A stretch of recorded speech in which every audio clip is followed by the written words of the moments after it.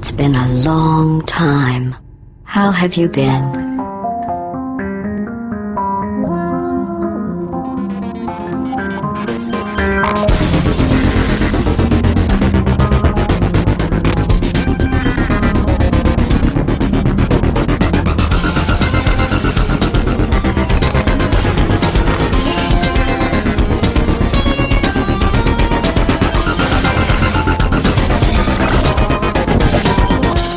I think we can put our differences behind us. For science. You monster.